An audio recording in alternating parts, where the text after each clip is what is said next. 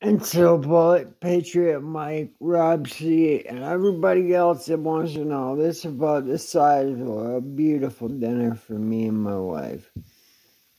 She showed up just about an hour ago. She gonna be chilling in the bedroom right now. She's getting changed and showered up. This will be my last video for a day or two. As you know, I gotta do the wife thing and the methadone thing tomorrow, so I'll probably end up getting drunk and doing some videos with the wife anyway, but here it is.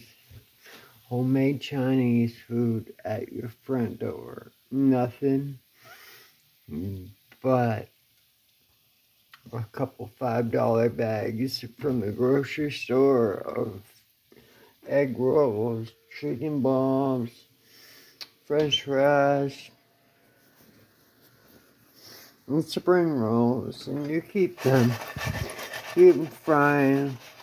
Get some, get some pepper on there. Get a rock, and now you see the final product. Cub the cook up boss, like I told you.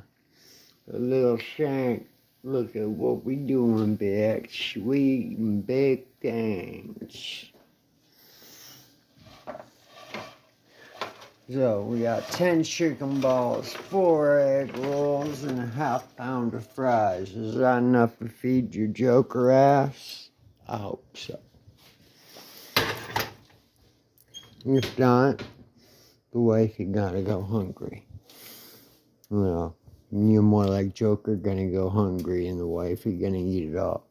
But you know how it goes uh, in doggy dog world the men take a back seat to the women and children. Those who all believe it.